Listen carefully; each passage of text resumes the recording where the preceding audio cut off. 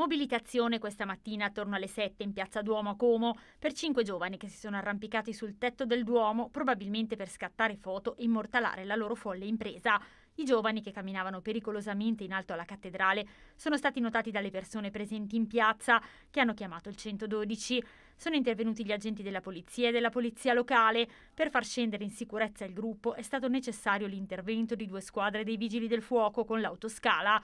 In piazza anche l'automedica del 118 e un'ambulanza, anche se poi i ragazzi non hanno avuto bisogno di assistenza sanitaria.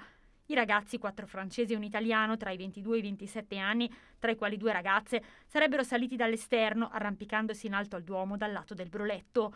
Sembra che volessero scattare delle foto e in base a quanto accertato dalle forze dell'ordine si tratterebbe di arrampicatori già noti per simili episodi in altre città d'Italia ed Europa.